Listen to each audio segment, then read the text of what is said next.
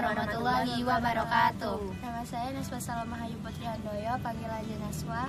Nama saya Talita Fahimah Salasabila Prayogi, panggilannya Talita. Nama saya Fristiana Candika Putri, panggilannya Fristi. Kita lagi murojaah bersama.